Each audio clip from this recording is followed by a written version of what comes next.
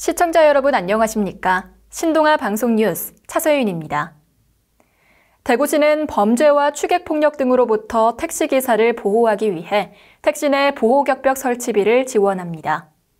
보호격벽은 운전석 머리 받침대에 부착해 기사와 승객을 공간적으로 분리하는 투명 차단막으로 쉽게 부서지지 않아 승객의 기사폭행을 예방하는 데 도움이 됩니다. 시는 수요 조사를 거쳐 여성과 노약자, 장애인 기사를 우선으로 택시 200대의 격벽을 설치하고 설치비의 80%를 지원합니다. 이후 만족도 조사 등을 거쳐 보호 격벽을 확대 설치할 방침입니다. 최영호 대구시 교통국장은 보호격벽 설치는 택시기사의 안전한 운행을 돕고 시민과 기사의 감염병 예방을 위해 추진하게 됐다고 밝혔습니다.